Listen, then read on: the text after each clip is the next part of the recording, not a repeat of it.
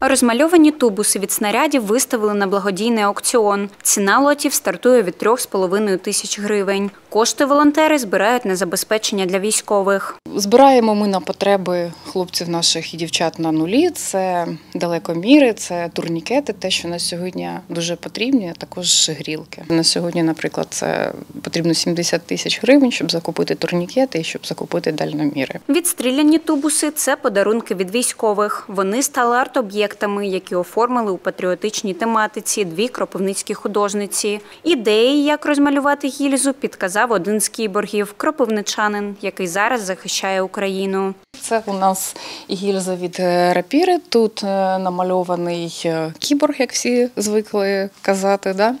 Тобто захисник аеропорту і вежа Донецького аеропорту. Другий тубус від трофейного російського снаряду Крюк, який був використаний проти окупантів. Як кажуть, орковський ленд-ліз.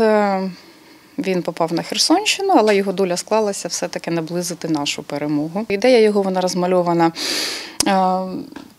в Петриківському розписі, і там здебільшого калина і квіти. Тобто ідея в тому, що щоб не попаде в українську землю, воно проросте і дасть якісь позитивні плоди. Аукціон триватиме до 19 січня. Детальніше про подію можна дізнатись на Фейсбук-сторінці мобільної волонтерської групи. Марія Матюнькіна, Сергій Баранюк, телевізійні новини СІБІН.